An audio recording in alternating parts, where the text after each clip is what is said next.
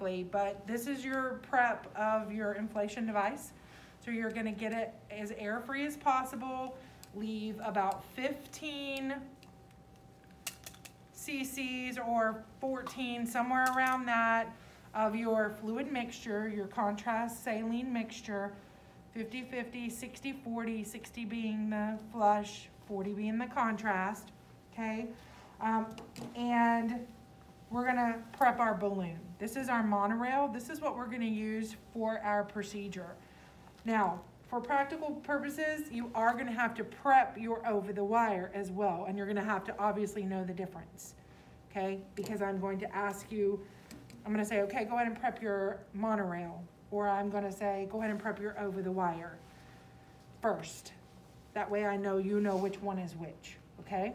Now, this is what I am gonna say about prepping the monorail though. And this is what I want you to tell me. So what I really want you to do back here is just prep your balloon, okay?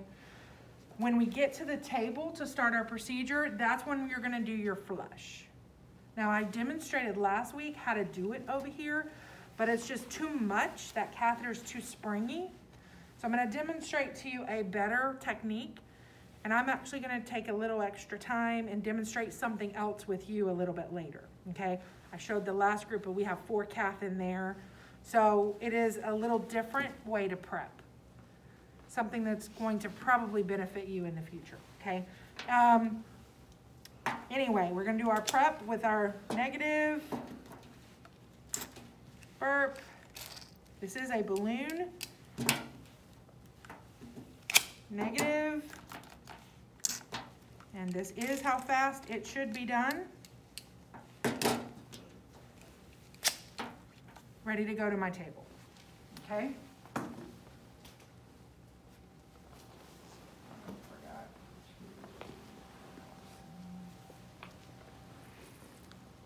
Sorry, this is not anything, I'm just, had forgotten to refill this bottle. Yeah, I know you're scrubbed, but shut that red valve for me we wouldn't do this in the real world. Thank you. Do you want me to close this one as well? Is it leaking? Oh, no, you haven't. No, then I don't. I just wanted that closed because it's leaking. Okay, so that's ready. Okay, so we're saying we've already got access. So the rest of the equipment that we want to go ahead and have ready is, of course, our wire. Remember how we're going to flush our wire is just going to be flushing the hoop. This is the 014 short wire. We're gonna use a short wire with our monorail balloon. I can go ahead and have this back here ready to go. Our guide catheter, we're gonna flush it.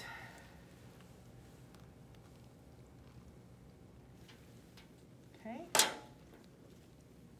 And have it ready to go. Okay. We're gonna have our accessory equipment. Tuohy wire insertion tool, torque device. Okay, we're gonna bring all that over here and I'm gonna show you how to set that up.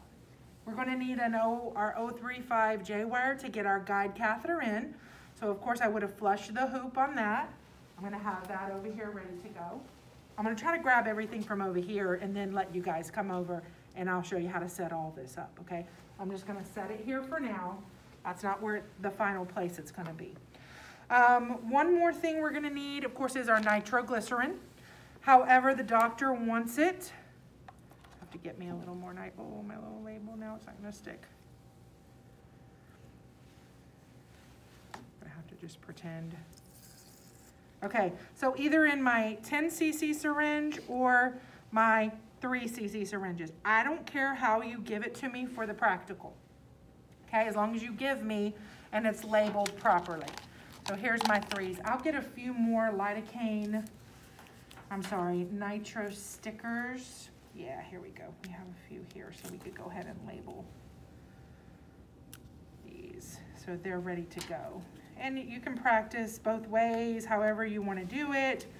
I am going to be not a picky doctor on this part. So again, I just want you to make sure that you have nitroglycerin prepared and over here ready for me. Now, I'm not gonna ask for verapamil or adenosine we'll talk about that. And really, I want you really to know more about that, obviously. You know, I do want you guys to be able to tell me if, if we need, and I'll even try to demonstrate like this. Remember, if we need, what is the, the kind of medication we're gonna use? If we need to vasodilate our capillary bed.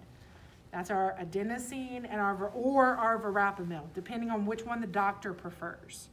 And they'll tell you that, okay? I'm gonna also have wet four by fours, just like if I was doing a diagnostic procedure. I'm gonna have some dry, I'm gonna have some wet for me.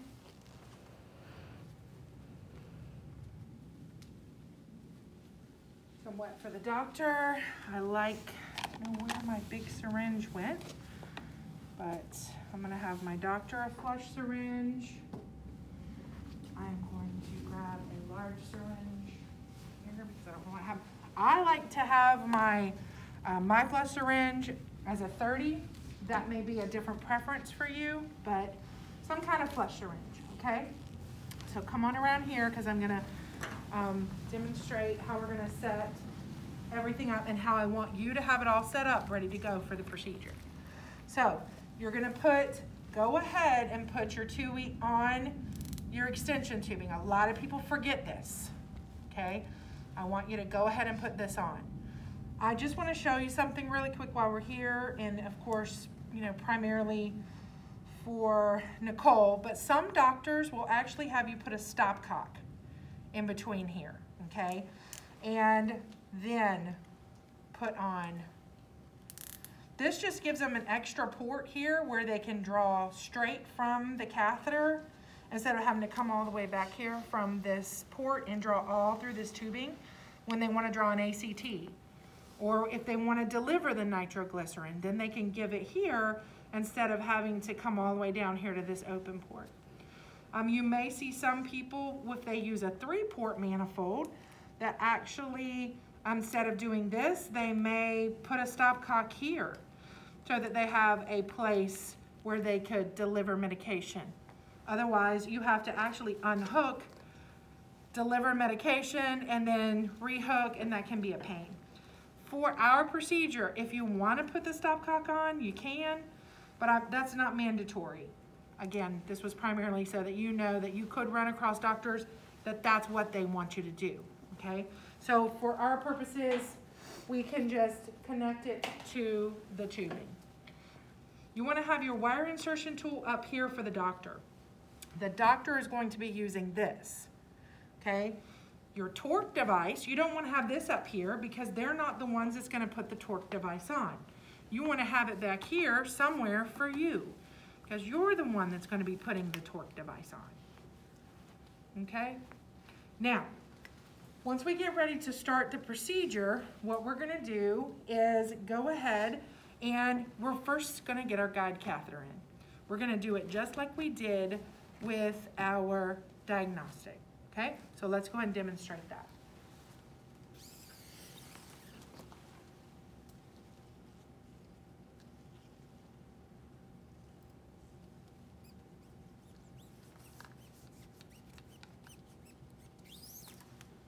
You go ahead and unwrap that and just hand me that, I can go ahead and take it. Great.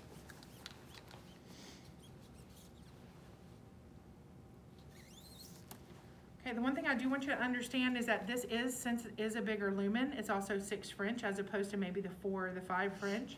You are gonna get it more bleeding out of here. So as soon as we're in, we're gonna be taking this wire out very quickly and connecting. Okay, we are probably gonna connect this can be some of the hardest part because you are gonna have to really listen to the doctor and communicate with the doctor. Some doctors are gonna want you to flush forward. Some are gonna want you to draw back first. It, it, it depends on their technique. The biggest thing is that whatever we do, we get this air free, okay?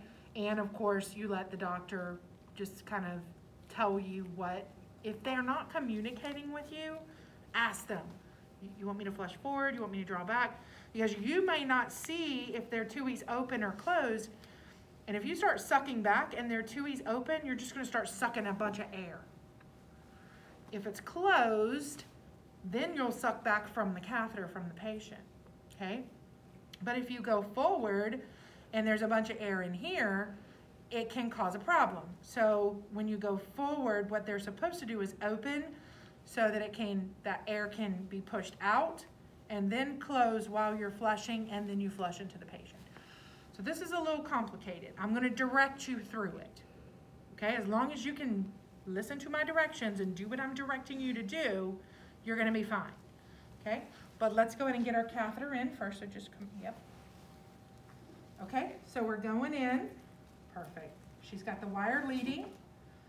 All right, wire is going to the um, carotid, but we're gonna, because this wire's been doing that all day to me, we're gonna say it's at the valve, not going out the carotid. And catheter's not, so she's pinning without my direction, which is wonderful. Now we're gonna say that the catheter is at the valve where we want it to be.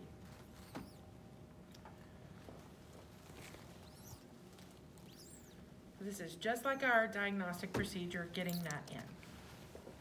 And I do suggest that, yeah, you get it out of the way, either tuck it under your towel, put it in your bowl, get it on your back table. All right, so what I'm gonna do is I'm gonna close and I'm gonna have you gently flush towards me. And we're gonna do a fluid to fluid connection, stop, we're connected. So now what I'm gonna have you do is go ahead and draw back.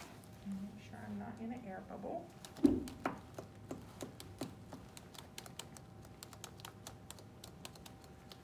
Okay, and don't do anything yet. You'll see that there's a pocket of air right here. So I wanna get that air out. So what I'm gonna do is open and have her flush. If I can hold it right, I'm trying to, so y'all can see it. Flush forward quickly, flush forward. Okay, stop. I think I saw some air go forward, so now I want you to draw back again. Yep.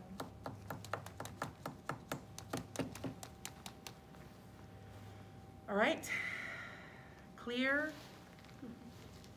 Uh, I see a bubble right there. So go ahead and get that air out of the syringe. You can turn, yep. Hopefully we wouldn't have quite as much air. Because this mannequin doesn't have the pressure like our blood has, we get more air with this situation.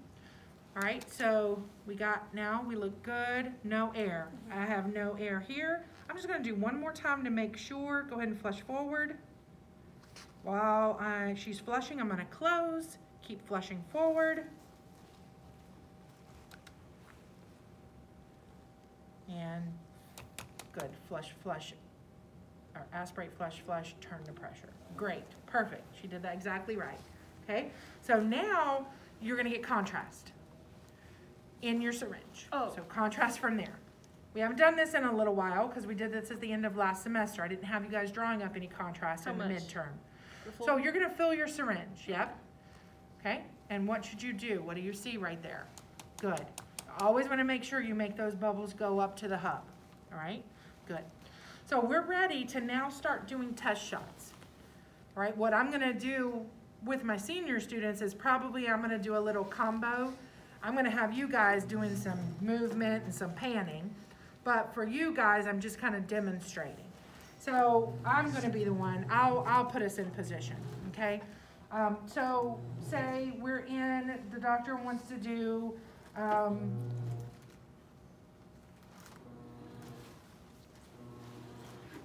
LAO cranial, okay? And so what we're gonna do is maybe take a couple shots with the contrast to make sure that we see the vessel, we see the lesion. We see which view is the best to see the lesion and be able to do our procedure, okay? So say, I don't, I'm not, don't wanna lean on this, so I'm actually gonna go over, and of course we do a little bit of panning to, and I'm gonna get this, this battery, I'm a little frustrated because he didn't leave me a battery charger, seven hundred and fifty dollars I paid for this. And I have no battery charger. Mm. Told me it was gonna charge, let me just verify, cause I'm, told me it would charge through the TV, and it's not charging. But now I need to get a plug-in adapter so that I can get the battery charged. But we will have it by next week. I think I actually have one at home. Okay, needless to say, we take some pictures with our contrast. Always make sure you turn back to pressure. Okay. unless we're doing the injections, okay? We're pretending we did our injections. So after we get contrast, make sure we turn back to pressure. Yes, and actually, while you're getting contrast, you You wanna be be on pressure, pressure. Only time you're gonna come off pressure is if we do injections. We do the injection, we turn back to pressure, we draw more contrast. At, while we're doing our intervention, we're always gonna have contrast in our syringe, ready to go for the doctor to have a test shot or a picture, okay? Kinda like we did with our diagno, our, our diagnostic procedure, when we were doing the angiograms of the coronaries, okay? All right, so now it's time, I'm ready to put my, um, 014 wire in. So you're gonna just put this down and you're gonna get your 014. While she's getting the 014, I'm gonna get my wire insertion tool and go ahead and put it in. So this will be something that I am doing, but if you're practicing and you're the doctor, you're practicing together, this is something you have to do. So you just open the wire insertion tool in like that and then close it just so it's not leaking so much. You will get a little bit of leaking there, but not here. That's the back end of the wire. So you actually want to push that forward. And watch, it's going to come out right here, so you don't want to ding it up.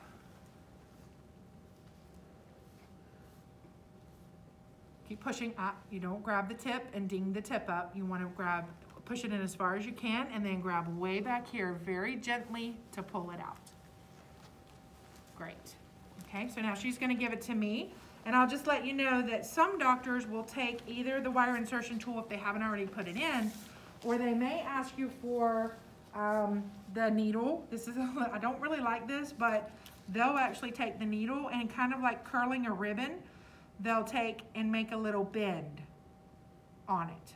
Now, some wires actually have a tool that you can do that with, and so they might want that tool. Um, whatever they want, um, either they will get for themselves or they will ask you to get it for them. So that they might can make a little bend.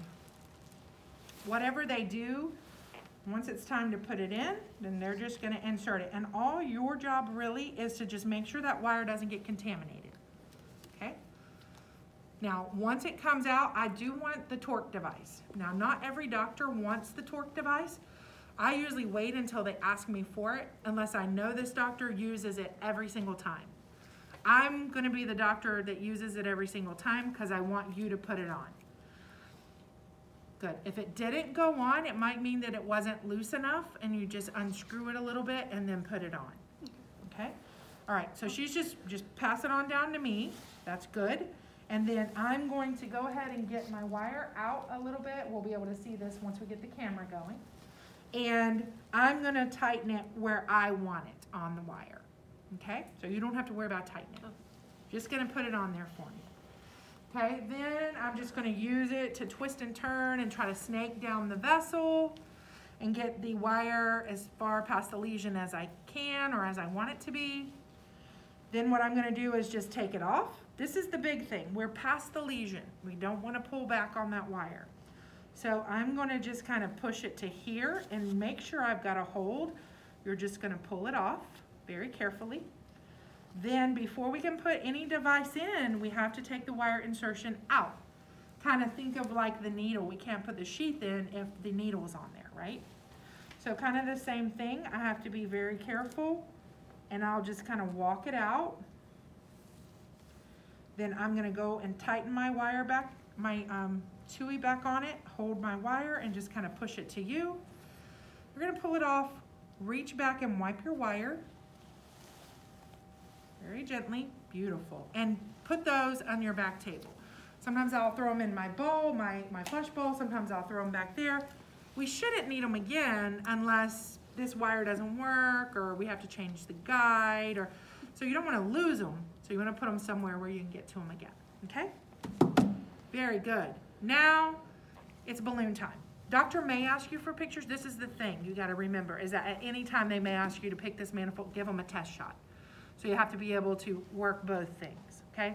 I'm gonna let you stand back for just a second because I wanna demonstrate. Now, I would have also gotten rid of these out of my way. I would have thrown them in the garbage, but we saved them. So for practical, just kind of put them to the back so that I have a nice working area, okay? Now, I also didn't but you can use this flush tool. You can have that ready for yourself as well. So springy. So what I do is I use the inflation device kind of as an anchor, okay? And so this is why I was telling you, I've taught you how to flush it on the back table, but it's really the best practice. Just wait until you're about to load it on the wire, okay? What you can do is exactly what I'm gonna demonstrate, okay? So we've got it ready. It's a balloon. We've done all our negatives. We've prepped our balloon. I'm gonna just take it out and kind of make a horseshoe. I'm gonna pull out my stylet.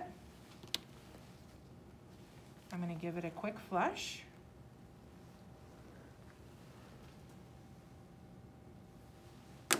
And I'm gonna load it on my balloon, okay? Which I'm gonna let you do, okay? You gotta be careful, don't pull on the wire. Now, sometimes you, if you're really good, you can do it in the air. If you can't, what you can do is, ooh, mm-hmm. hello. sorry. So that has a little bend, so it's a little challenge. So she did great, but can I show you something else? Mm-hmm. Just in case you're having any issues with it. What you can do is hold the wire against your finger like that and kind of come in. And we'll see if I can do it. There we go. And load it on like that. Not everybody is going to be able to even see it and do this in the air, okay? So like I said, this is what you need to start practicing. Practice being able to get this on. Yeah, they showed me that trick in clinic. Yes. Yeah. Okay, and I'm gonna just show this real quick and then I'll let you do it. So what you're gonna do is advance the balloon to the doctor. Okay, once, and now I'll switch to the doctor. Once I get here, then I'll take it from you. But what I need you to do is to help me control this wire by pinning it until I get all this balloon in to that point up here, where I can grab the wire. You'll see that in just a minute. I'm gonna let you do it though, but I wanted to kind of talk about it first. At that point where I grab the wire, all you're really gonna be responsible for is making sure this comes along with it. Okay? So, let's try that. I'm gonna pull it back a little bit. You've already loaded it, so I won't make you do it again. You did a great job. Okay, so hold closer there. Great. Okay, so now what I'm gonna do, and the best, I like to use this hand underneath and pin it, yep, like that. Make sure it's nice and straight. I'm gonna open the Tuohy and start advancing the cap, the uh, balloon. Okay, at this point, see how I'm going in and see how now there's a separation. So I, as the doctor, can grab the wire and pin it myself. Now you don't have to worry about it anymore. What you need to just worry about is grab that inflation device, yep. Make sure nothing gets caught down there, perfect, nice. And just come along with me. That's all you gotta do. Okay, I'm just gonna make sure it exits. All right, we are outside of the um, guide catheter. And then I'm gonna tighten it down some just to keep the blood leaking. If that gets tightened too tight, you can crimp that balloon and then you're gonna have a problem. You're gonna bend it. So when you guys are practicing, don't wrench on down on it. Just close it enough where it's not really leaking, okay? Now, you wanna make sure that you have a little bit of slack here, okay? At this point, the doctor may ask for a test. So you've gotta lay this down, pick this up. Okay, so I want you to give me a little test shot. That's gonna be a couple cc's. That's good. Turn back to pressure, get more contrast. What we're doing is we're making sure we're seeing that that balloon is in the lesion area where we want. That way the doctor can make adjustments if they want to, okay? Now, I like where we are, so we're gonna get ready to go and inflate. So now what you're gonna do when you inflate, you always wanna have the butt up, and you're going to go to neutral if you're not already in that neutral position. Okay, I have a big belly, I'm sorry. All right, then you're gonna start inflating. All right, I want you to go to six atmospheres. Kind of tilt so she can see, and you can come on over and, as you're recording. Okay, and so this is a really small balloon, but it is inflating, okay? All right, depending on what the doctor wants, the doctor may look and say, it's, it's not expanding as well as I want. Go on up to eight atmospheres. Remember, gotta be kind of gentle with that. If you go too fast, you're gonna go past eight. So you need to be a little gentle. All right, let's go to 10. So someone, hopefully the recorder has started a timer as well for us. Y'all popped it. It ruptured. Dang it, it wasn't your fault, it was mine. It's okay.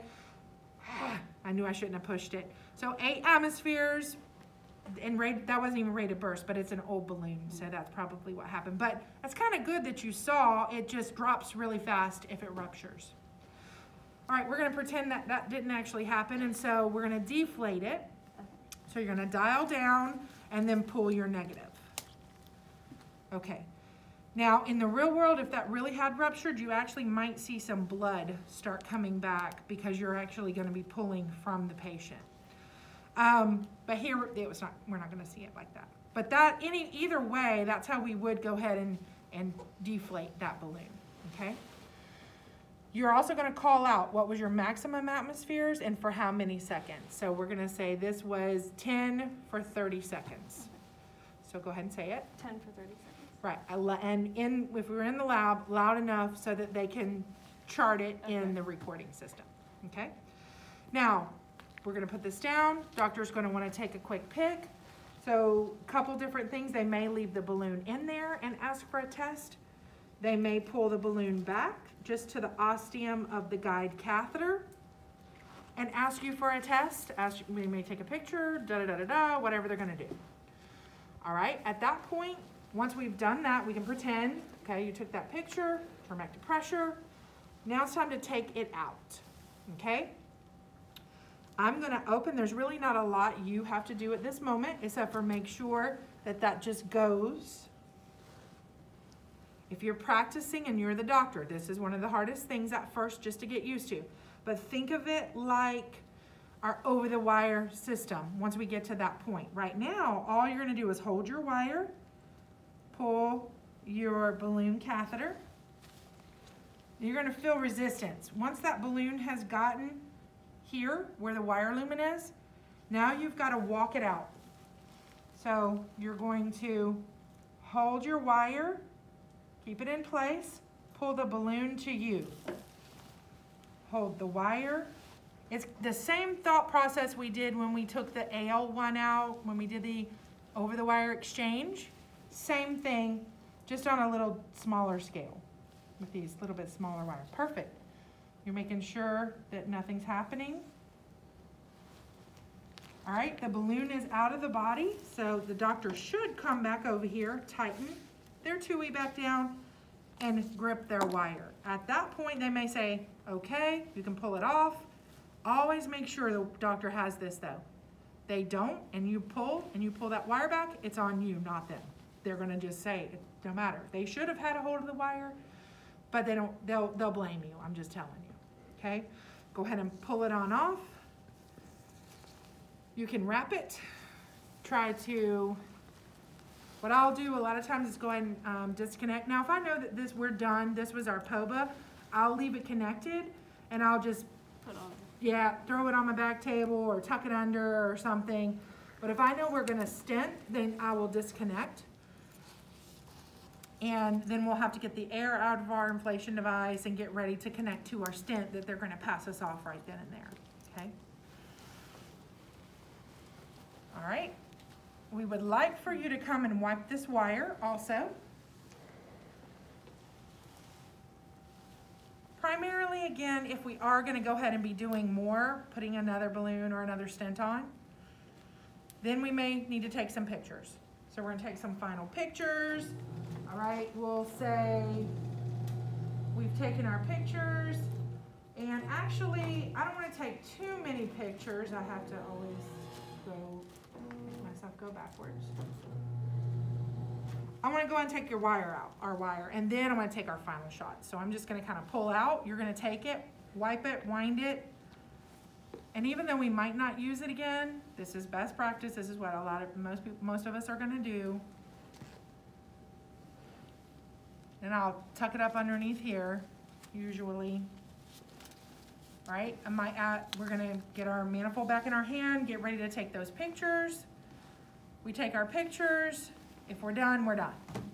Okay, now, to get our guide catheter out, depends on the physician. So I'm gonna just say, Nicole, if it's radial, they're gonna ask you for your, the 035 wire back.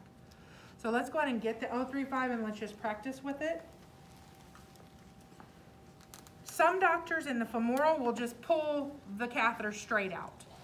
Okay, but some, depending on the shape of the tip, they may ask for the 035 wire back so that they can put it in, straighten the tip, and then they'll just pull everything out as a unit. And you can see how I had that come out to just straighten that tip. And that's our interventional procedure. Now, at the end, depending on what we've done, if it's radial, we're going to not worry about an ACT for the most part. We're gonna take and use a TR band and pull that sheath out, do what we have to do with the TR band, and send the patient out of the room. If it's femoral, like it, this one is, we're going to probably pull an ACT, okay? When we pull an ACT, now I've been, this mannequin has been causing me to suck a lot of air, so we'll see what happens. What you should do is pull a waste. So remember, anytime we're sampling blood, we want to, I, I think that there's something wrong with this sheath. I don't know why it's sucking air, but I should be sucking blood back. And I would be going ahead and getting 10 cc's of waste. Get my little syringe, whatever syringe they want you to use for the ACT. It doesn't take a lot of blood. Usually we use a three. Pull back my sample for my ACT. Pass it off to whoever's gonna run the ACT in the machine. Then I'm gonna take a clean flush syringe. We'll just use this one.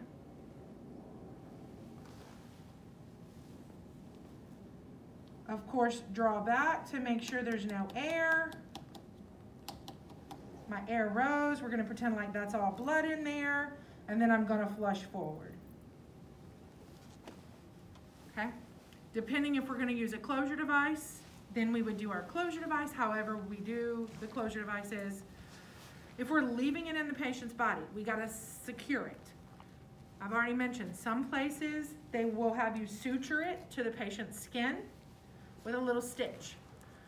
Some places will just have you put some four by fours and a large tegaderm, which is a see-through bandage, to keep it secure until it's time to pull the sheath out, until that anticoagulant medicine has worn off of the patient.